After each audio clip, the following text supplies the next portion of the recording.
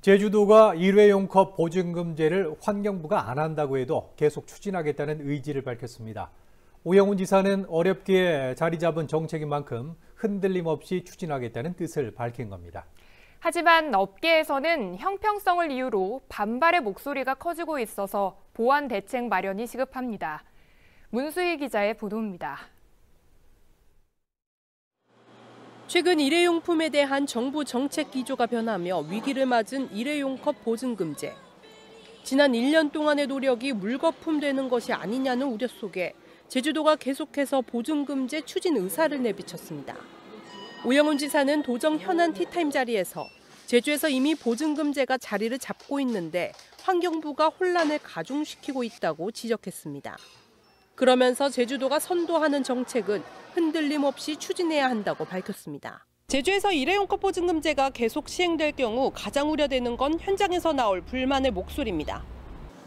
그동안 일부 손해를 무릅쓰고 보증금제에 동참했던 업체들도 정부 발표 이후 하나둘 보이콧을 선언하고 있습니다. 전국 확대 계획도 불투명해진 상황에서 제주도가 계속해서 시행하는 건 형평성에 맞지 않다는 겁니다. 특히 제주에서도 일부 매장을 대상으로만 시행하는 점도 큰 불만으로 꼽았습니다. 전체적으로 한다면은 따라갈 수밖에 없는 일이고 근데 전체적으로 하는 것도 아니고 일부 매장만 이렇게 하고 있는 거는 형평성이 진짜 어긋난다고 생각해요. 형평성 문제가 지속적으로 제기되는 가운데 제주도는 정부 설득을 통해 해결할 수 있다고 보고 있습니다.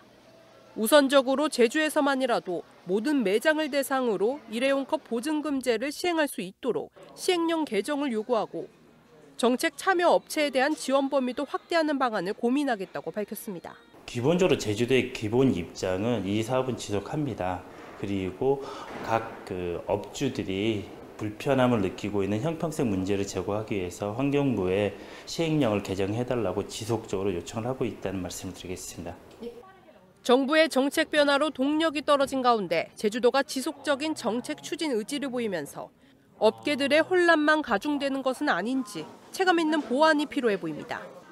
KCTV 뉴스 문수입니다.